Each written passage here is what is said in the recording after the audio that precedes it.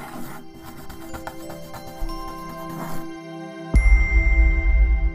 Hi there gorgeous! Welcome to the very first video to kick off Save Money September. If you did not hear already, every single video coming out the entire month of September is drugstore themed, so please subscribe so you don't miss out on any videos coming out this month. This is a running theme that I've been doing a couple years now, and I know a lot of you look forward to the whole drugstore month theme like this, so Woohoo! to kick off the first video of the month, I'm doing a review today for you on the Shop Miss A brushes. Ever since I did a whole review on their makeup products, a lot of you have been asking me to review their brushes. So I went ahead and purchased their Paw Paw 10 piece brush set. This comes with 10 brushes. Looks like there are a lot of eye brushes and a nice case for them also. And I also purchased their 10 piece plush faux mink brush set. And this comes with a variety of different faux mink brushes, eye brushes, face brushes, and then a brush roll. Both of these sets were very affordable. It basically breaks down to about a dollar a brush. So I'll show you each of these up close, what they look like in an application demo, and I'll let you know.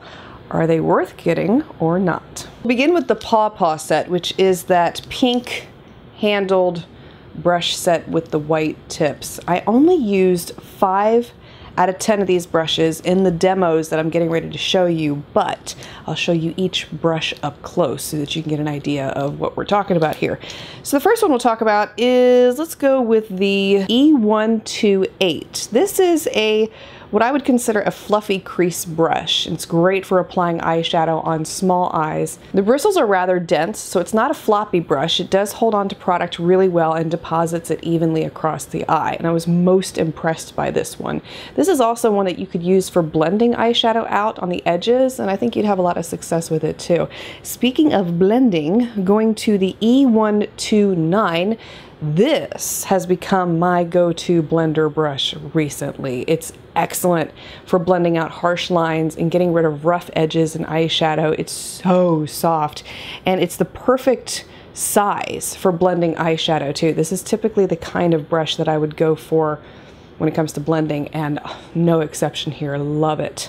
Moving on to the E131. This is a small paddle brush, great for applying creams, powders, etc. onto the lid area of the eye. It picks up product very well and deposits it evenly on the eye. I didn't struggle at all with this brush and I found it to be very easy to use. Would not compare it to my beloved MAC 239 Sorry, I'm still looking for a dupe for that brush. I've been looking for a dupe for years now. But this is a nice brush for applying eyeshadow onto the eyes and it will give you a nice application. The next brush is the E132. This is a pointed, more of a blunt tip brush, but it's a uh, what I would consider something for the outer V or for smudging around the eye area. Very soft against the skin, did not have any trouble with this one either, and I felt like the application with this one was very professional looking. Sometimes you can get pencil brushes that are really scratchy against the skin, and I was worried, honestly, at the price point with this one that it was going to do the same thing, but I didn't have any issues with that whatsoever. Transition over here to the E134. This is a pointed brush, and typically these can be rather scratchy against against the skin. But again, didn't have any trouble with this one whatsoever. It's one that I like to use for smudging eyeshadow on the lower lash line or smudging out the upper lash line. Beautiful for that. And again, I love the application with it and I love that it's not scratchy. Now, these next five brushes are, like I said, ones I did not use because four out of five of them are too big for my eye shape. So it wouldn't really work for me personally. And I don't feel like I could give a fair review to those of you who have bigger eyes and could appreciate a brush like this. But I'll go through each one so you can see what they look like up close. And I will just tell you that they are the same exact quality of the previous five that I've already shown you because I did experiment with them off camera on my personal time with nothing on them just to see what they felt like on the skin and oh, they're really soft and you can tell they are of quality. So the first one is the E127 and this is what I would consider to be a crease brush possibly a blending brush, although it's a little bit too flimsy for blending, so you may struggle with this one. I typically like to have a more dense brush when I'm blending, but definitely a great one for those with big eyes that want a bigger crease brush. And the next one is the E130, and again, a little smaller compared to the one I just showed you previously.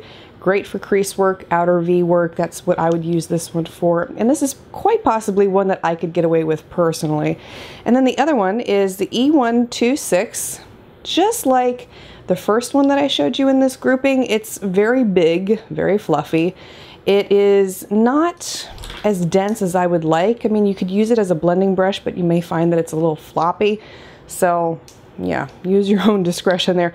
And then the E125 is a slanted brush that you could use for applying eyeshadow into the crease. You could also apply eyeshadow into the outer V with this one, and it is excellent quality, just like all the others that I've shown you here.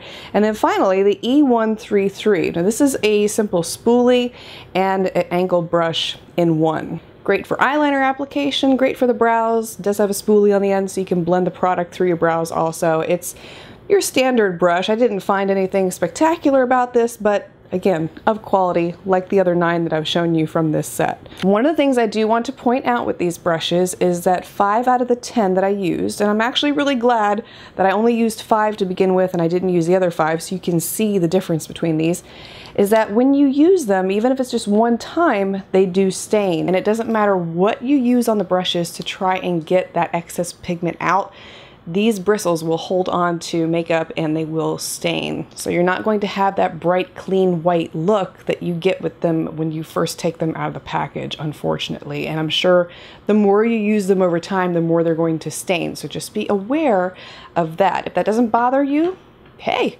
doesn't bother me because nobody's looking at my brushes except you, and you know we use brushes. I think it's a good sign when they're stained. But other than that, I didn't experience any issues with shedding during use or washing them, and uh, I feel like for the price point, they perform extremely well. So I would give this brush set a two thumbs up. I mean, you can't beat the price. It's crazy ridiculous. The next set that I bought was the 10 piece faux mink brush set. You get five brushes for the eyes in this set and five brushes for the face. So we'll first go through the eye brushes. I'll show you each one up close here real quickly, beginning with number E136. This is a great little crease brush. It is made for those of us with smaller eyes. I mean, if you have bigger eyes, you can use it too, but it'll take you a little bit more time. It is a little densely packed. It's not as floppy as you might expect for it to be, so it does deposit the product pretty evenly and gives you a professional application. Really impressed by that one. The next one I have to share with you is E139. Now, this is a shorter, more dense paddle brush kind of design and this is one that I use more for smudging eyeshadow around the eyes, again, on the lower lash line, the upper lash line. It's great for that. Next one is the E138, and this is an angled brush that you can use for outer V work. You can also use this one for smudging eyeshadow along the upper and lower lash lines. And then you have the E137. You can use this one to apply cream products on the lid, powder products on the lid. You can also use this one in the crease. It does make for a great brush in that respect. And again, all of these brushes I'm sharing with you are extraordinarily soft. I mean, if you you're not going to believe it at this price point how soft these brushes are. It is ridiculous. The last eye brush I have to share with you from that set is E135, and this is a little bit of a floppier version of the E136. So this is better suited for those with bigger eyes, and you could use this one as a crease brush. You could possibly use it as a blending brush, although it's not as dense as I would typically like for a blending brush, so I would stick to the crease more or less with this one. For the face brushes, these are just some of the softest brushes at this price point. I mean, I'm gonna keep saying it. I'm, I'm speechless. Beginning with the F23, this is a flat top traditional kabuki brush. You would use this for applying foundation, possibly cream blushes, that type of product.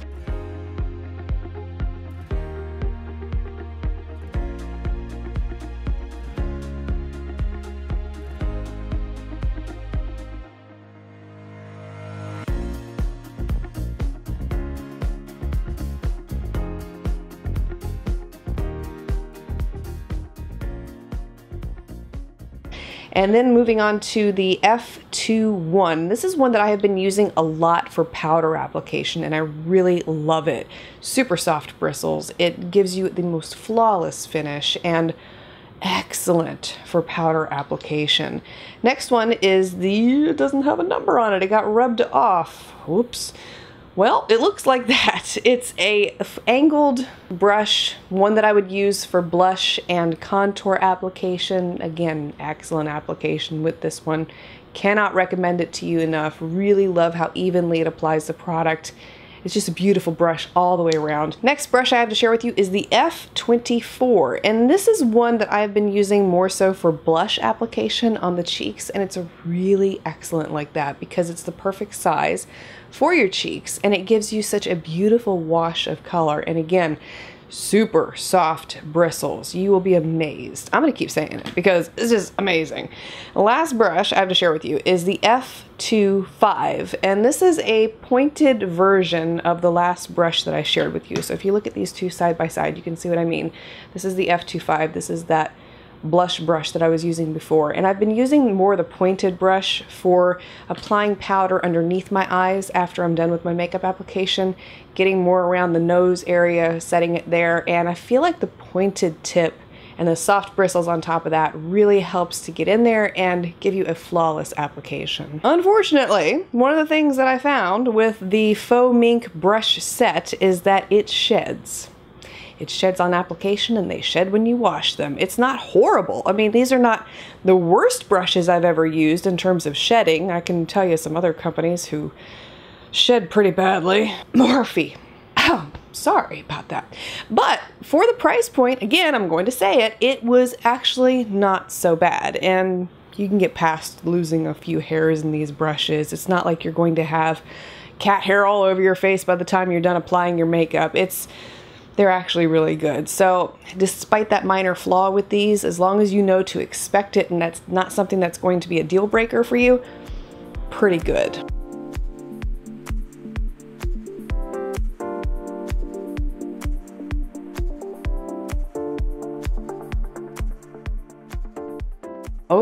I have to tell you, I was not expecting a lot with these brush sets. It really wasn't. I wasn't expecting a lot with the makeup, to be honest with you, from this website, because traditionally, a dollar makeup products online, not talking about dollar store or anything like that, I'm talking about online makeup products that are a dollar, usually are not that good. And the brushes tend not to be that good either, but these are actually some really excellent finds. And I have a friend also who heard me talking about the Shop Miss A website recently, and she went and bought a bunch of brushes from them.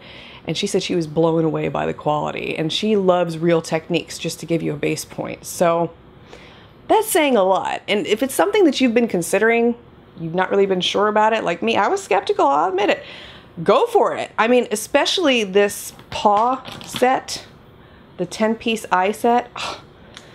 that was just I mean, I was blown away. That these brushes are what I would consider to be right up there with some of the higher end brands in the terms of the performance and the application results that you get. So if you're interested in these, I'll have them listed and linked for you below.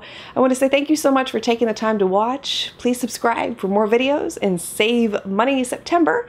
And I look forward to seeing you again on Wednesday.